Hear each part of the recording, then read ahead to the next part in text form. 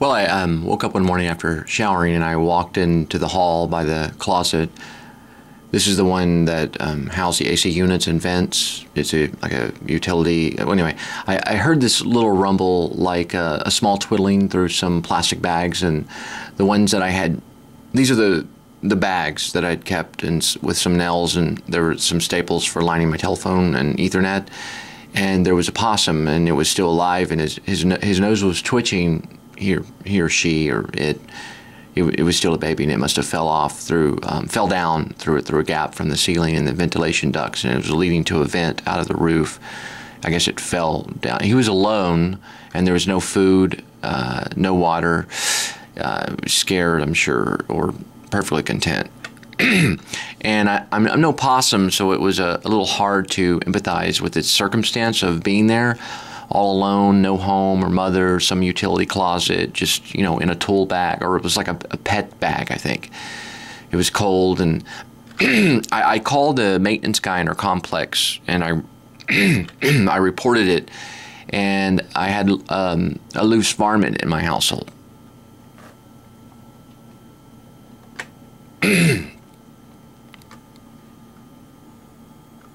And I empathize with the circumstance of being there by itself, all alone. There was no human or no, I mean, there was no home or mother, and there was some utility closet there. It was in a pet bag and it was cold by itself.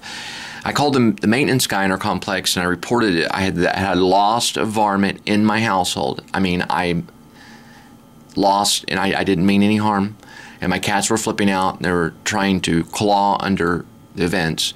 They were pawing at the door and chipping away at the wood, trying to get at it, sniffing, hissing, investigating, prowling, hunting. You know, the loneliness that they do uh, when they they wept uh, on the other side of the door, um, looking for this little guy, and the innocence, the young life that was there. The it was, it was just weird. You know, the very next day, the little intruder was gone, supposedly taken away and caged, and maintenance people were, were going to release it into the wild or something like that. And then Kenny, uh, this maintenance manager guy, told me it, it, it, it would uh, it would happen. Well, now this is weird. This is next week, and I get this. The next week, I found this was another possum.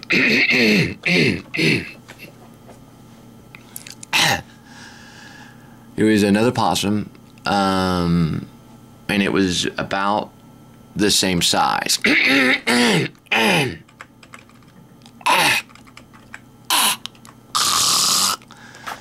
It was about the same size, same nose, identical in nature, but dead.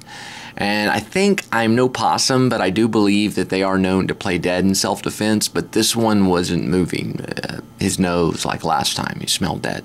Surely it found its way or fell through the same gap and got trapped, just like the other one that was supposedly, um, you know, in the same. I mean, it was he, he came the same through the same way. And I, re, I you know, this is uh, part of the part that should have been repaired in the utility closet up up in the the part of the uh, where the closet is on the. Anyway, I, I must have fell down, or I mean, it must have fell down searching. Maybe smelled its mother or brother or sister or whoever was the first discovered in the cage, and, and I guess I I guess it was released into the wild. And I figured the dead possum must have starved to death.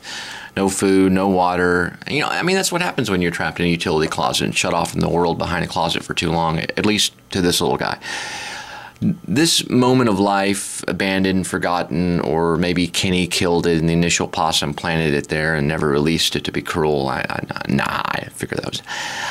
I don't know. May, maybe not. And there's there are the, the things I think of now. Um, these things they pick apart like a detective analyzing to keep me away from the image of her to stop me from remembering something to focus on.